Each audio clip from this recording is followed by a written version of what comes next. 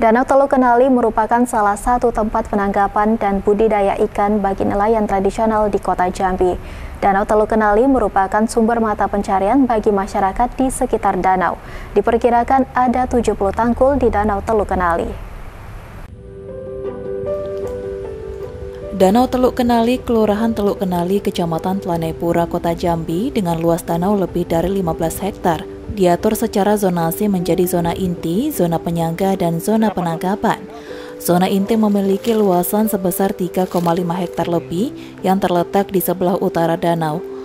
Lokasi zona inti merupakan saluran air yang masuk ke danau dari Sungai Kenali, sedangkan zona penyangga berada di sekeliling pinggiran dataran danau, dan zona penangkapan berada di bagian saluran keluar air danau yang berada di sisi barat daya danau. Kegiatan perikanan yang dilakukan di sekitar danau ini merupakan perikanan tangkap dan budidaya. Kegiatan perikanan tangkap meliputi kegiatan penangkapan ikan menggunakan alat-alat tradisional, yaitu dengan menggunakan tangkul, tajur, pukat, dan tembikar.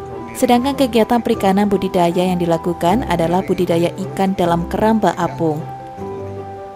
Jenis ikan yang teridentifikasi di danau yakni jenis ikan betok, botia, pucuk, baung, celawat, sepat, parang, gabus, gurame, toman, lele, betutu, sumpit, tambakan, dan udang gala.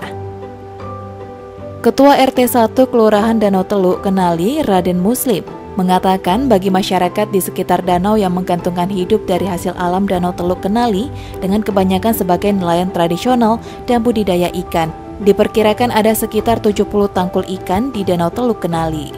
Di sini lebih kurang 70-an, lebih kurang 70 unit tangkul. Itu tuh aktif. Aktif. Aktif semua. Mayoritas kalau khusus RT 1 Teluk Kenali ini khususnya tuh pencari ikan, nangkul galau-galau. Ini bukan siang, Pak. Sampai malam. Malam orang pakai serongkeng mencari udang udang halus itu. Nah. Iqbal, Cek TV, melaporkan.